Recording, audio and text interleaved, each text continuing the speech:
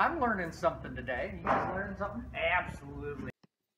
Hey, let me paint a little bit of a backstory here so that you guys know what's going on here. We got this bike from a dealer that was thought to be a, a, nightmare electrical problem. All kinds of scotch locks, wires everywhere, chopped up, modified, different ignition so on and so on. And so we love this hard stuff. And in my uh, electrical systems class, this would be a great learning opportunity.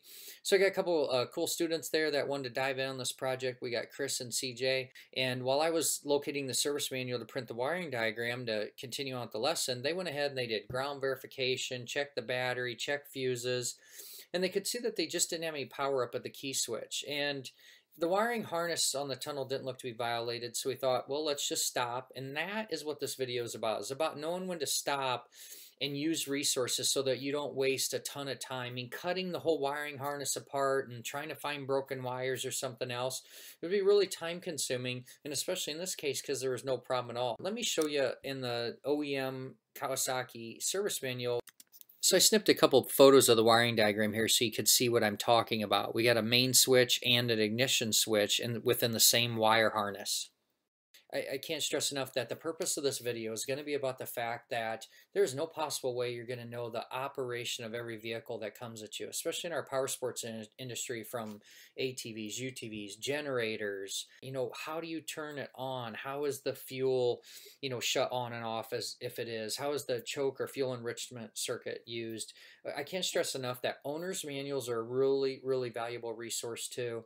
And in this particular case, this bike was sitting around doing nothing and thought to have a problem and it literally just had a, you know, I want to say it's hidden, but it wasn't hidden. It just had another switch that needed to be turned on before using the ignition switch. Check out uh, the rest of this video to see uh, what we had happen here. Well, we were figuring out, trying to figure out why we initially didn't have any powers up to this key switch. And you guys used test light and multimeters, and we had no everything, voltage. everything. We did ground verification. Everything was fine except for no power up there.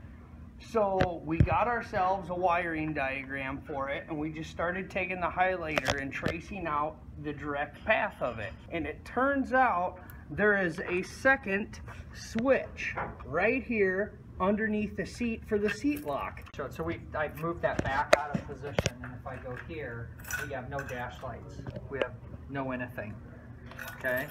But if I go here and move this to this position, Notice the key pulls out. And we got to learn about this. Here's what we got to do. We're going to find the owner's manual so that we can actually figure out how to operate this vehicle.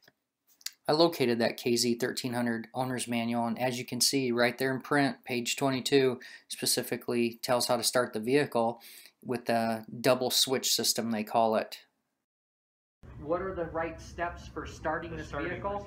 Yep. Just yesterday in class, I was teaching the guys about tracing out wiring diagrams and the benefit. Small and kind of a pain, but you know, if you're having trouble seeing it, you know, you can do this as well. Chris, you know, obviously, how's this working out for you? Very well. Yeah, you said you like the printouts and being able to map it out this way. We could probably put fuel in this thing and start it.